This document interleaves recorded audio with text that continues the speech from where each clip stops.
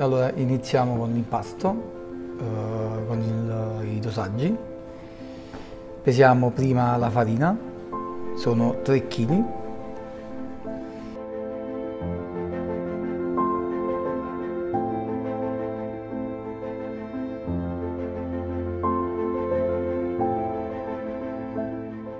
Ora aggiungiamo la farina all'interno dell'impastatrice.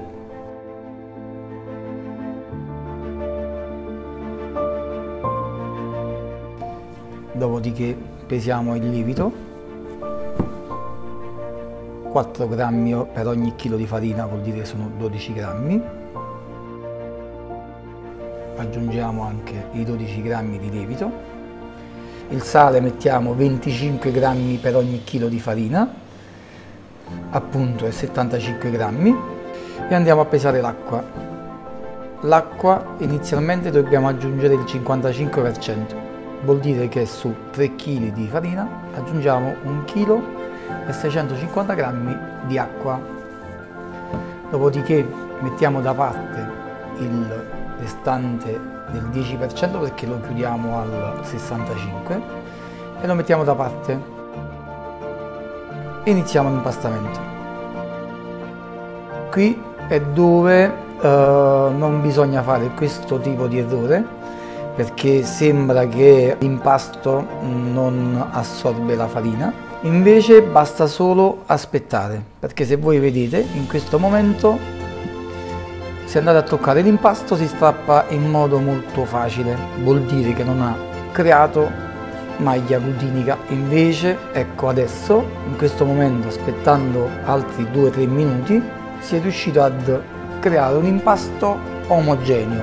In questo caso aggiungiamo il restante di acqua un po' alla volta. Mettiamo la seconda velocità, mettiamo un po' di acqua perché l'acqua viene messa a step, a metà del 10% che gli dobbiamo aggiungere di acqua, gli aggiungiamo il sale, aggiungiamo il sale e continuiamo con la seconda velocità ad aggiungere l'acqua.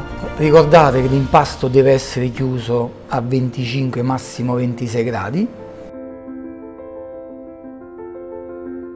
mettiamo l'impasto sul banco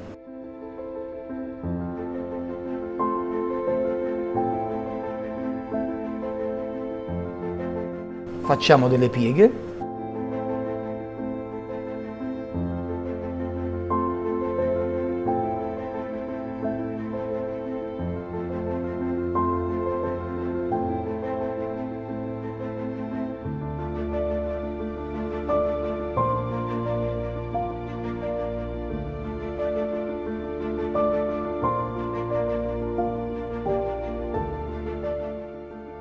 e la mettiamo in un mastello. Abbiamo chiuso con della pellicola.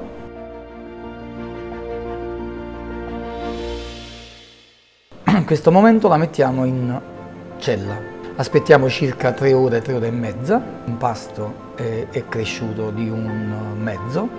Ora viene messo sul banco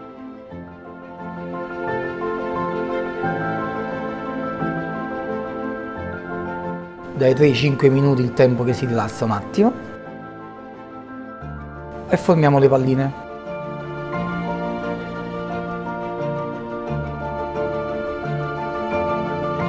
Ecco, stiamo formando le palline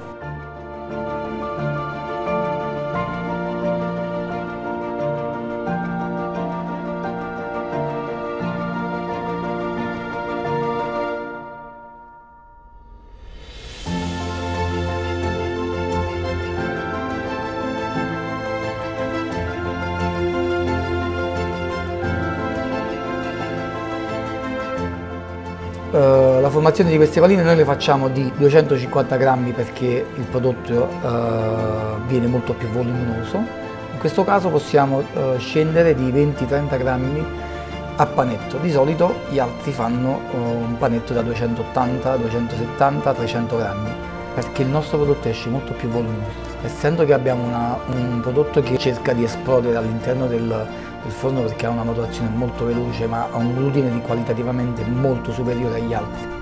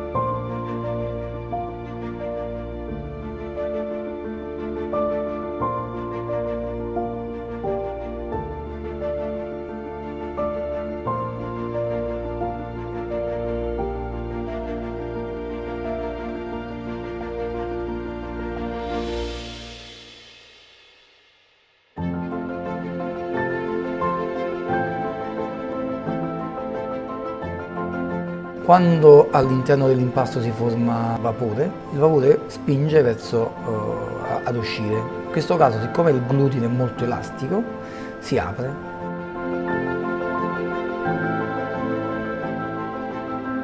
e diventa molto più voluminoso, proprio il, la pizza diventa molto più voluminosa.